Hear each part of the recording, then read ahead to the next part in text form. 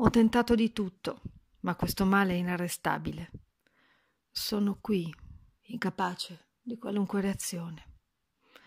Dentro di me è un fastidio, come un veleno, che piano piano mi consuma la vita. Cerco di essere forte. Oggi ho fatto una fatica boia a sorridere alle battute dei ragazzi. Non ci riesco. Insegnare sta diventando per me molto faticoso.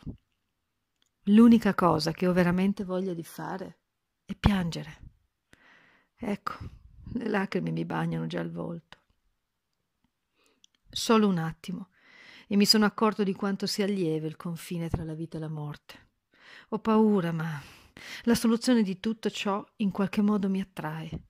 Quanto è facile, immediato, liberatorio, abbandonare ogni cosa, dissolversi.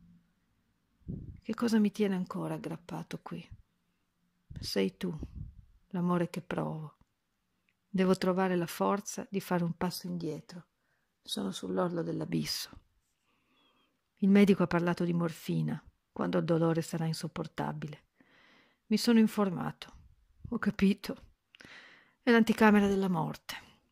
Il modo più dolce per arrivarci.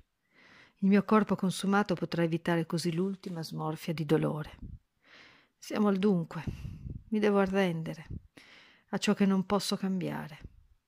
Non posso dirlo, non ancora. Non ne ho il coraggio.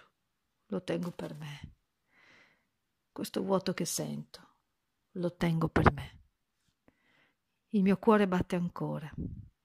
Non è tempo ora di ascoltare il rumore del nulla. E allora scrivo Scrivo per dimenticare. Forse non avrò più spazio per il ricordo. E allora prendimi con te per tutto il tempo che ci resta.